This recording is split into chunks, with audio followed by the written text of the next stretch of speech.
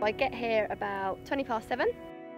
I'm usually one of the first ones here along with some of the other girls. We unlock everything and then I normally go out haying and feeding which consists of checking all the horses, checking the troughs, checking the fields.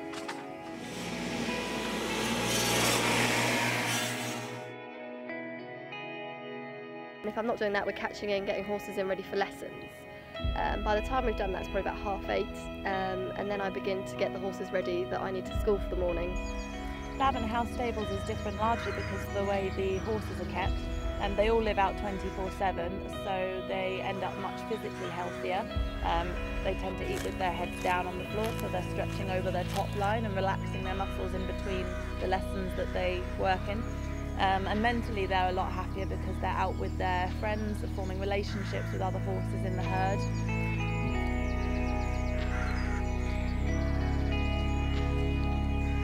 Very important to me that all horses live out 24-7. Um, we're a very small country, very overpopulated, um, particularly in the southeast, and um, it's very difficult to, to find an environment like this where you can actually keep horses out all year round. Um, as soon as land became available, um, I jumped straight on it for that reason.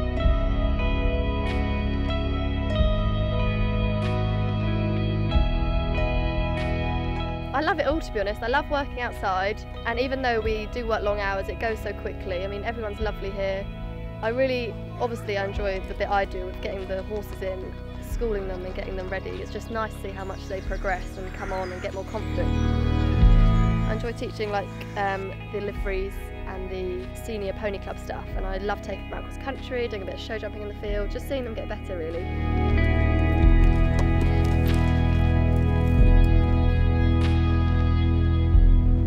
People who want to really learn how to ride and ride well. That's what we're very good at. So we try and get people into a weekly program with the same instructor and say if they're in a group, they'll be the same peer group, same age, same level.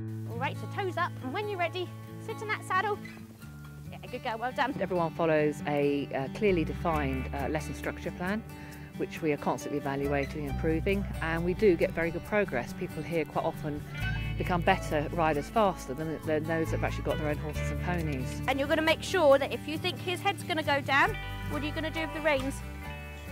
Shorten them, good girl. There's a, a fairly large contingency, but certainly not all, will move on into horse ownership. They often start that with us here too. Uh, don't have to, but they can do. We normally, from that point, get them into competitions or into professional training, um, wherever they want to go, really. We just, we're, we're grassroots, we start everyone off on the right line. After the clients have ridden, primarily I'd like them to feel inspired to come back again and uh, continue with their lesson. Also I want them to feel challenged so that they leave perhaps knowing that the next lesson they've got things to work on and things to improve but also that they've achieved something in their lesson and also that they've had the chance to bond with the horse they're riding, which I think is important rather than just hopping on strange horses you, you don't know. They can make friends with other clients that are perhaps in their group lesson or on the yard at the same time as, as them, so it becomes a much more friendly environment as well as a place they come to learn to ride. I want it to be a magical experience to them. I mean, any business wants to give a customer a good experience. If they don't, they shouldn't be in business. But I mean, we want to give them something extra, something special, a thrill, um, a buzz um, that you know they can't really get anywhere else. I'm Eve. I'm 14 years old, and this is my pony Rocky. He loves it here. He makes friends with all these ponies. He loves the staff. He loves his treats. I've been riding at Lavant House Stable since I was seven years old, from level one to level eight. The people here are really nice, constantly pushing me on to go further and making me feel confident.